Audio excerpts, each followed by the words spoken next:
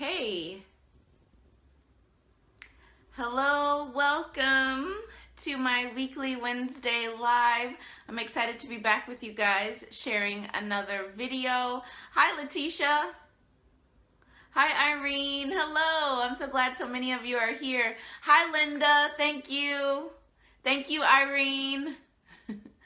so I have a quick, pretty simple uh, project to share with you guys today. We'll be making a card, and I thought it would be fun to make a birthday card since my birthday is this Friday. So it's really quick, really simple, um, but I think it's very pretty. So we will make the card, but first I want to announce the winner of last week's uh, Prize Patrol for sharing the video. So congratulations to Monica T. Thank you so much for sharing the video and thank you to everyone else who did as well. So Monica, I've got a little 6x6 sampler of the Everything is Rosy um, designer series paper. So this paper was so pretty. I just put lotion on, so I'm trying not to touch it too much. Um, and then I've also got a piece of that rose gold foil in there for you. So I will be sending this to you, Monica. And um, last week's winner, Alicia, your uh, giveaway goodie will be going out with Monica's as well. I'll be sending them both out tomorrow. So congratulations, Monica. Thank you again for sharing the video. Hi, Carol. Hi, Maria. Thank you. So don't forget if uh, you're watching live or you're watching the replay somewhere, make sure that you share the video, leave a comment below when you've done that, and you'll be entered in for a chance to win a prize. So thank you guys so, so much. I appreciate you. All right, so I think we are going to jump right in. I'm gonna get you guys flipped around and we'll get started. Yep, okay, let me flip you. Okay, got you in there. Flip this other light around.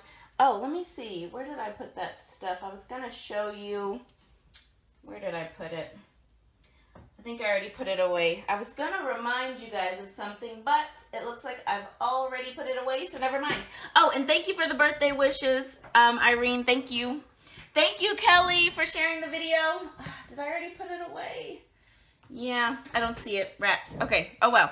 So today we're going to use the beautiful Pressed Petals Designer Series paper. I love this paper. I honestly didn't really like pay attention to it in the catalog.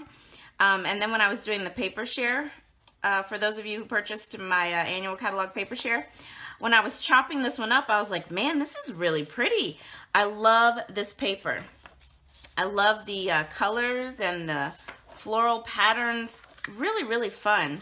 So we're going to use um, a sheet of this today. Well, actually just a piece from a sheet but really pretty. If you haven't checked this paper out, you should.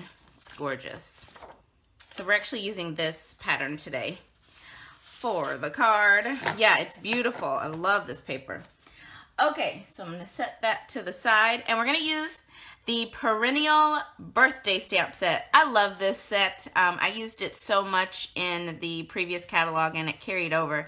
Love this one, so I said I want to use this one for my birthday card. So that's what we're to be using. Perennial birthday, and I've already got my pieces cut here. So for my card base, this is crumb cake, and I have cut this down to eight and a half by five and a half, scored at four and a quarter. Then I've got a piece of Rococo Rose. This is four by five and a quarter inches. So that's one of our new in colors. Very pretty color. Um, Very Vanilla, which I really never use. I always use Whisper White, but Very Vanilla, this is three and three quarter quarters of an inch by five inches. And then that Pressed Petals designer paper, this is, let me remember, two inches by five and a half inches. And then I cut this piece of Very Vanilla using the uh, layering circle dies. Love these. These are my most used dies, I believe. Okay, so I'm gonna set that to the side and let's jump in. Really quick and simple card. So I'm going to start first with the die cut circle. And I am going to stamp that cute little flower here in Rococo Rose, which is just so much fun to say. oh, thank you, Carol. Thank you. Okay, there we go. Ink that up. And I'm gonna stamp it right here. And like I said, this card is so simple, you guys. Okay, so let's try again. Take two. Okay, so before the video froze and kicked me out, I had stamped the um, cute little flower from the perennial birthday stamp set. I had stamped that in Rococo Rose. And then I was about to stamp the happy birthday sentiment. So let's go ahead and go back to that. Um, okay, so, all right, so people are coming back. So I'm going to stamp the happy birthday in um, Merry Merlot. So that's another coordinating color with this designer series, with this designer series paper. And I just jammed my thumb into the Merry Merlot. Let me find my little rag here to clean that off. Okay. Oh my gosh, I've never had the video freeze before and not come back. I could not even get back in. Okay, so I'm just gonna ink up this happy birthday. And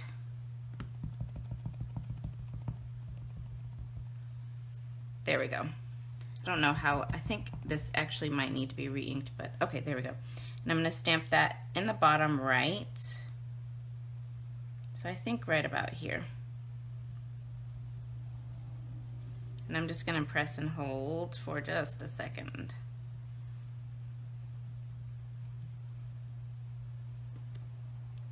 Ooh, that looks really good. I like that.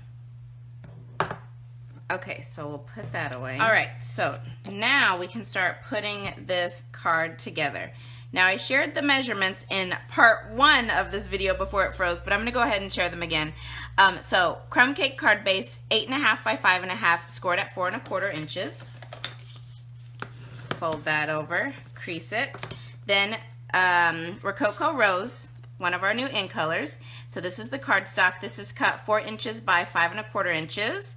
And this is going to go right here. And I don't have any uh, snail handy so I'm using the old um, fast fuse.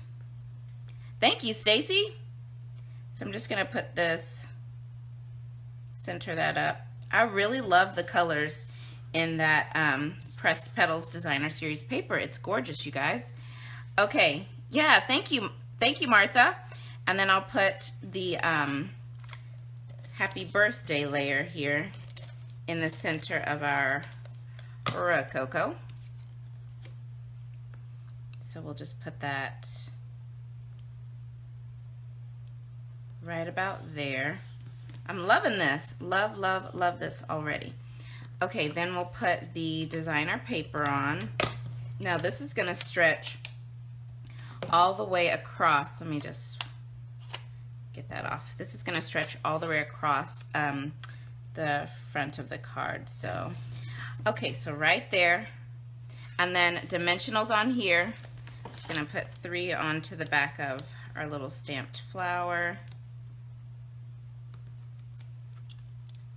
And I want it going this way. I'll just pop this Yeah, right there. I love it. So cute. And then I was thinking I would add some of the uh, in color faceted dots, the Rococo Rose colors. So let's see. I was gonna do, well, I was gonna do one of the large ones. Maybe right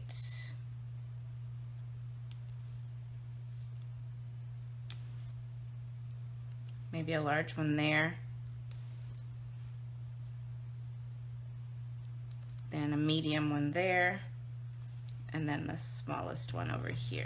Okay, so I think that's it. That's the card. I really like it. I think it's cute. Oh, you know what? Let me get an envelope. I'll go ahead and I'll go ahead and stamp an envelope too. I've got some very vanilla envelopes here. Might as well do that while I've got everything out.